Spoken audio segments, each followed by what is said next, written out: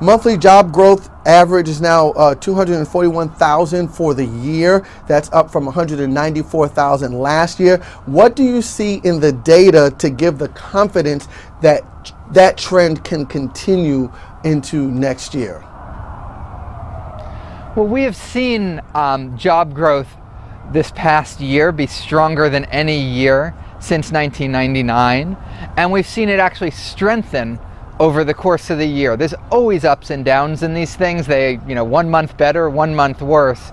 But uh, the trend line is what we're looking at, and that trend line is certainly um, moving in the right direction. And, um, you know, looking at the data, you know, November is a time when the retailers add extra help, the uh, delivery companies add on extra help. How much of this big, you know, better than expected number we saw in November is actually due to the holidays? Right.